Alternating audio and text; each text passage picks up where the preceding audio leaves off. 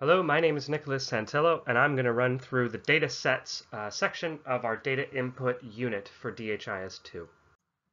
This is an overview of the DHIS2 curriculum we've been developing at Logical Outcomes, and it's based on the DHIS2 Academy workshops you can see listed on the left-hand side of your screen.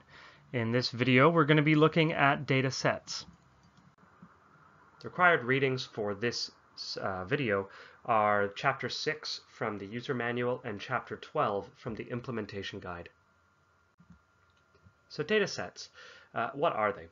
Uh, specifically, uh, and quite simply, they are sets of data elements that are collected at the same frequency by the same org units. So uh, basically they are um, forms which you enter data into. Whenever you enter your data, your data elements will be within a uh, screen that you're going to enter your data to, that is going to be a data set.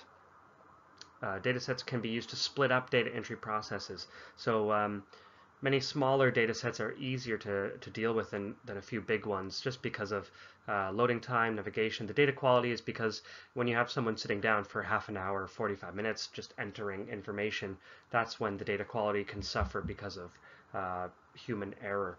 So it's much easier to just make smaller chunks of data sets.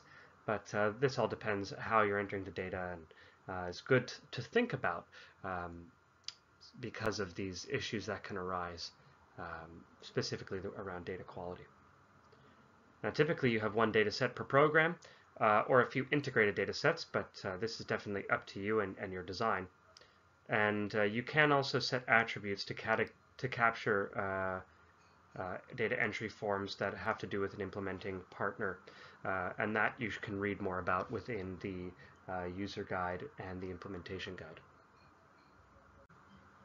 So section forms. These are a common uh, form of data sets and definitely the easiest way to do it when you have a lot of different uh, sections, quite literally, of, of data import. It'll make one large data um, set seem smaller because you'll be splitting it up into these sections. And uh, this is how you can have different uh, groupings of uh, data and different ways to enter different subtables and layouts. I can also disable uh, fields if you need. If you want to learn more about how to build a section form, definitely go to the uh, required readings in the user manual and the implementation guide and that has a lot more detail about how to set those up specifically. You can also do custom forms. Once again, uh, this will very quickly get into HTML coding and uh, if you want to be doing custom forms go into the implementation guide that has all the information you need.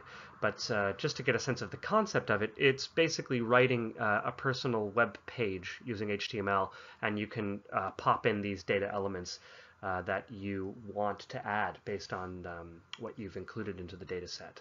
Now, custom forms are great because you can recreate uh, a form that you're already using uh, so that it looks the same for your user or for whoever's entering that data uh, although it will be going directly into the system and it exists within the DHIS2 system. So those are the two um, main ways that you can use your uh, data set forms beyond just one long endless page. So what we're going to have next is just a simple question for data sets, a little questionnaire, a quiz, and uh, then I'll show you within the system what that uh, app looks like, the dataset app, and uh, that will be uh, everything for the data set video.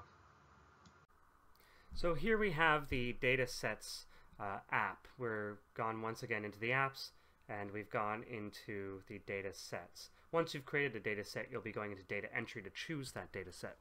But when you go here, you'll have your data set. You can also have your assignment uh, editor. You can learn more about that in the implementation guide or the uh, user manual.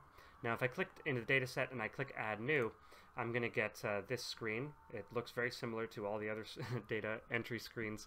So once again, it's, it's knowing what we're doing with it. We have our name and short name, uh, the expiry days, if it's only going to last a certain amount of time, and if it can be all these. Uh, I'm, I'm not going to go through all of these specific things because those will be outlined in the user manual and the implementation guide. But as you can see, all of these options are here, and then you'll be choosing specifically which data elements you want to add for this uh, data set and uh, any indicators if you want as well. And then finally, make sure you save it before you leave. So that's it for now. Datasets was a very small uh, piece, but definitely important to get a grasp of. Uh, make sure that you do the readings to catch up on any um, extra information that I glossed over or didn't go into more detail about. And uh, thank you so much for watching. So that's it for now. Thanks so much for watching. And uh, until next time, I'm Nicholas Santillo from Logical Outcomes.